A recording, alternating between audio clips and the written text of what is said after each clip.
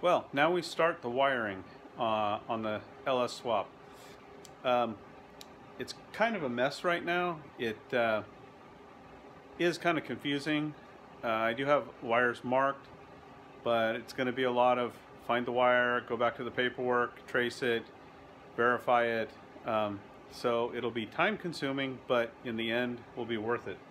Uh, you can see the spaghetti mess I have here all these wires.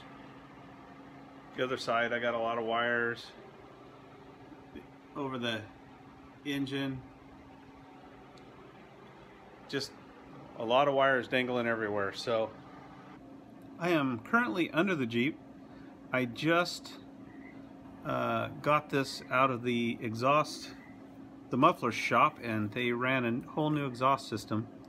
So I was going to show you what that looked like. They ran it down, had to go around the front of the pan, come up, I got two cats, then it comes here to the back to some MagnaFlow and up and over.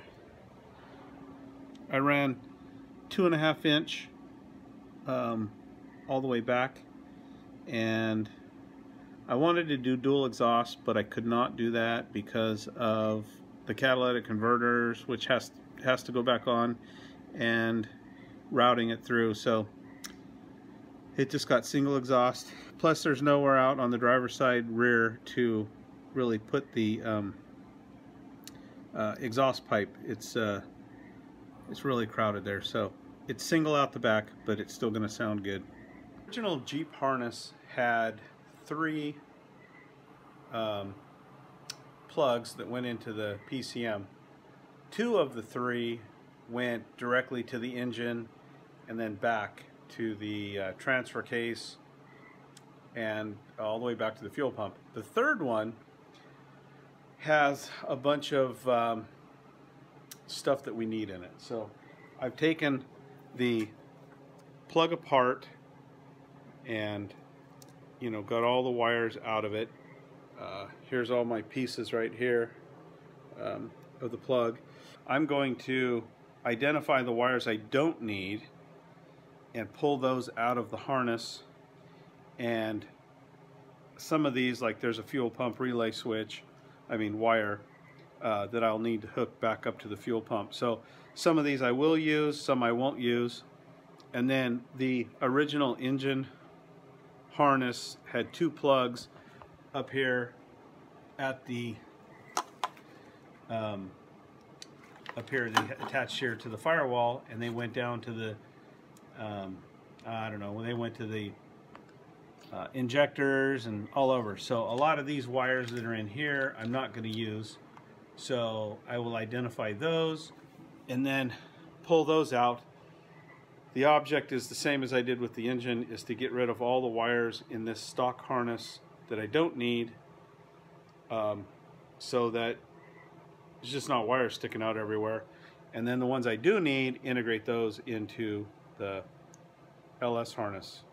The next step was to take all the wires that were out of that C plug, the third one in the PCM, which I disconnected last night, and I've identified them with red tape, which means I do not need them, white tape, which means I'm not exactly sure, and green tape, which means I do need them and they're going to go someplace from the distribution block and tie into the LS wiring.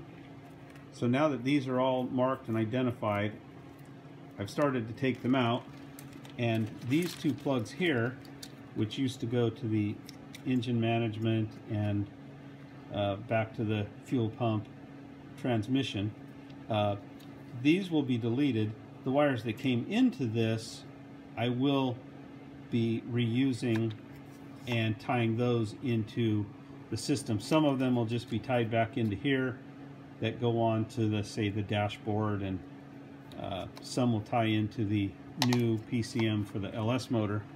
The next thing that I'm going to do now is identify these wires and then delete this, delete all these. Half of these wires right here um, are already identified as needed or not. And so some of these um, uh, go back to the distribution block. Those will be easy to find out. Some of these go off up under the dash, so they'll be a little tougher because I haven't found these plugs in my wiring diagrams, which are right here. This is the PCM all the way over, and that is the C3 plug, and then I have the distribution block. So all of that is what I'm using to identify the original Jeep wiring harness paperwork. All right, the progress that I made today is pretty good. Um, there's still plenty of time. I'm not done. Um, but I wanted to show you what I got so far. I'm mounting the um, PCM here. Here's my connectors. This is the LS wire harness.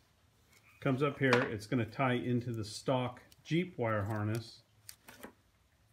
These wires here are, um, they go to OBD2, they go to the uh, speedometer, they go to gauges. Um, so these are going to get put into a plug and tied into the system. These right here are my powers that need to be put onto relays. Um, these will go over to my um, stock box over there that has all the relays and the fuses in it.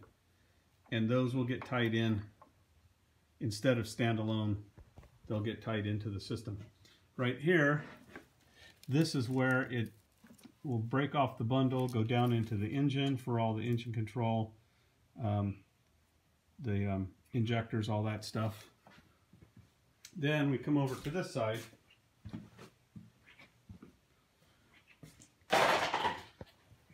These wires right here, these come up from the back, speedometer, fuel pump, fuel gauge, um, the sending unit, all that stuff. So these are going to get tied into those wires over there through the wire bundle.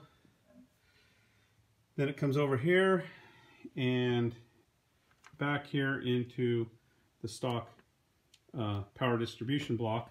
I've also identified all these wires here as unused circuits. One was for AC.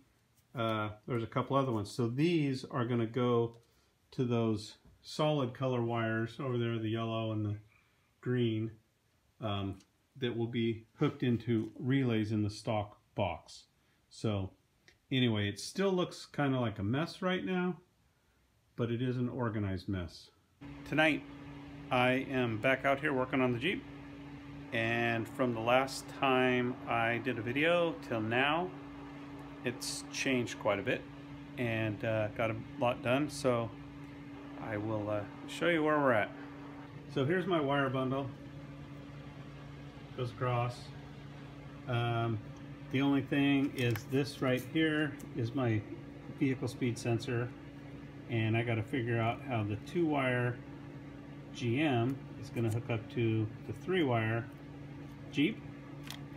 Um, I had to add a new wire from the alternator to the battery and I think I did an overkill. I got number four wire and uh, ran that around. It looks like it may have been like number one wire originally, but should have good electrons flowing through that wire. Um, and then this is all going to get tucked up in the wire loom. Um, this right here is my new gas gauge, gas, uh, oil pressure, and water temperature. So going to run this over to where it's going to go into the dash. But uh, last video I had, it was a big rat's nest, and now it's pretty well done. I also have so many accessories, I was like, I don't know how to get them all. They were all around my battery. I didn't like it. So what I did was I got this from Home Depot. It's a ground block. So I put those on a piece of uh, cutting board and attached those where my PCM used to be. And now I'm going to hook all the powers into there. And I got one up there to hook into the ground. And then all I'm going to do is take a wire from this big hole right here and tie it into the positive on the battery and from this big hole here tie it into the positive on the I mean the negative on the battery. And then all my accessories will be right here. Uh, they're all fused.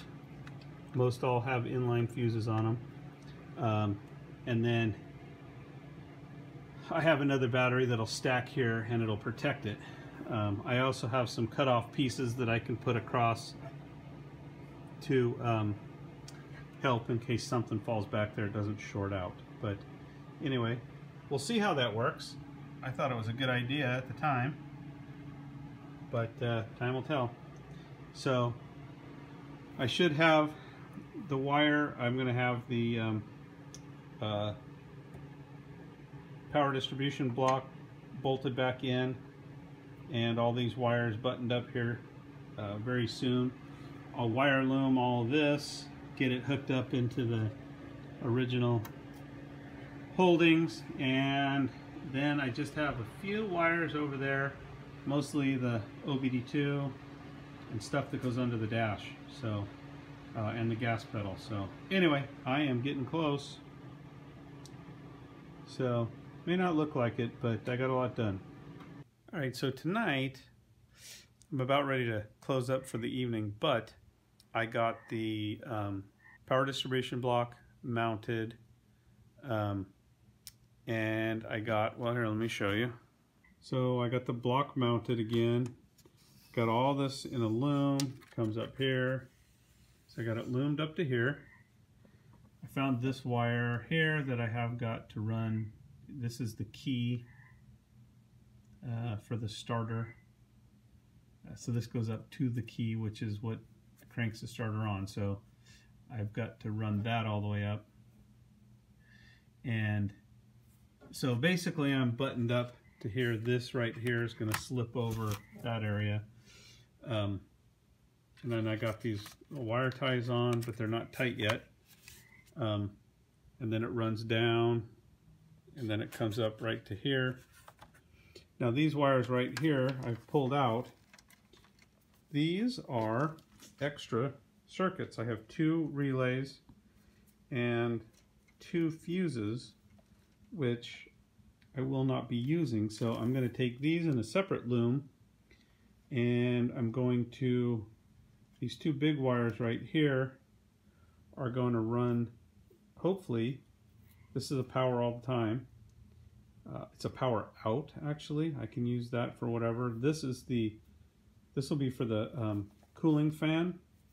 And it has a relay, um, which will be this relay right here. That's my fuel pump. That was the auto shut off. Now that's going to be for the cooling fan. Um, and I don't know what that one's for, and that one's the starter. These are not used, and I can't find the stock um, spades that go in here. They're kind of a weird double. I wanted to use all of these for the uh, engine relays. So that didn't work, so I bought another power distribution block that I'm going to end up using for it. So anyhow, um, under the hood, it's starting to look pretty good. And now my accessories, um, I have to put a fuse, inline fuse on this, then I'll hook it up. Um, I also have my stinger for my dual batteries. Um, so I've got that bolted in. Uh, this wire right here is going to go to uh, keyed power, which I had in the box in keyed power. And then this just goes from one battery to the other battery. So um, I'll get these things uh, hooked up. And then I'm just down to the driver's side with the OBD2 and just some miscellaneous stuff there. And I should have that done by tomorrow. I accidentally found this wire tonight, which, um, yeah, I have to. This came out of the PCM, but so now I'm going to have to figure out if it goes to the PCM. Uh, the, the GM ECU or how I got to hook this up, but this is my starter. Anyway, It's looking good.